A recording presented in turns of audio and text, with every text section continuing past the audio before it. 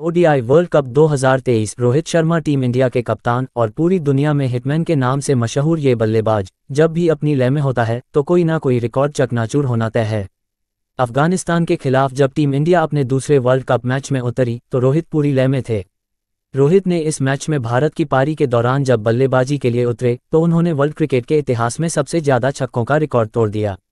रोहित शर्मा जैसे ही अफ़गानिस्तान के खिलाफ पारी की शुरुआत करने उतरे तो उन्होंने ताबड़तोड़ बल्लेबाजी करना शुरू कर दिया। रोहित ने इस मुकाबले में मात्र तीस गेंदों पर अपनी फिफ्टी पूरी कर ली। इस बीच वो चार छक्के लगा चुके हैं। इसी के साथ रोहित वर्ल्ड क्रिकेट में सबसे ज़्यादा छक्के मारने वाले बल्लेबाज बन गए। रोहित के अब कुल पाँच इंटरनेशनल छक्के हो चुके हैं। उन्होंने इस मामले में क्रिस गेल को पीछे छोड़ दिया है। गेल के कुल पाँच इंटरनेशनल छक्के हैं। वहीं शाहिद अफरीदी चार सौ छिहत्तर छक्कों के साथ तीसरे नंबर पर हैं। इंटरनेशनल क्रिकेट में सबसे ज़्यादा छक्के मारने वाले पाँच बल्लेबाज। नंबर वन, रोहित शर्मा, पाँच सौ छप्पन छक्के। नंबर टू, क्रिस गेल, पाँच सौ तिरपन छक्के। नंबर थ्री, शाहिद अफरीदी, चार सौ छिहत्तर छक्के। नंबर फोर, ब्रैंडन मैकुलम तीन सौ अट्ठानवे छक्के। नंबर फाइव, मार्टिन गप्टिल, तीन सौ तिरासी छक्के। रोहित शर्मा ने एक और रिकॉर्ड अपने नाम कर लिया है।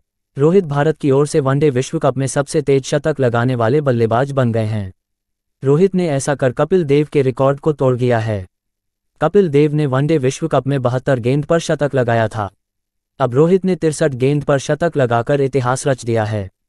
कपिल देव ने साल उन्नीस विश्व कप में जिम्बाब्वे के खिलाफ बहत्तर गेंद पर शतक लगाया था। यानी 40 साल के बाद रोहित ने कपिल देव के द्वारा वनडे विश्व कप में बनाए गए भारत की ओर से सबसे तेज शतक का रिकॉर्ड तोड़ दिया है। रोहित ने तिरसठ गेंद पर शतक लगाया है। इसके साथ साथ रोहित ने वनडे विश्व कप में सबसे ज़्यादा शतक लगाने का रिकॉर्ड भी बना लिया है।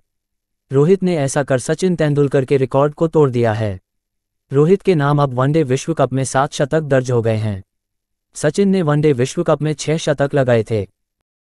लेटेस्ट स्पोर्ट्स न्यूज़ अपडेट पाने के लिए वीडियो को लाइक करें और चैनल में नए हैं तो मेरा चैनल को सब्सक्राइब कर दीजिए।